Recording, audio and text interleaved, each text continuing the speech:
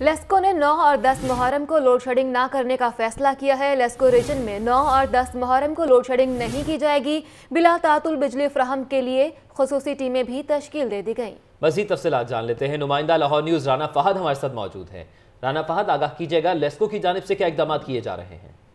جی بالکل Lahore supply company کی جانب سے نو اور دس محرم کو لوڈ شیڈنگ نہ کرنے کا فیصلہ کیا گیا ہے اور جو ہے وہ دونوں، ان دونوں دنوں کے لیے جو ہے وہ بلا تعطل بجلی فراہمی کے لیے خصوصی ٹیمیں تشکیل دے دی گئی ہیں۔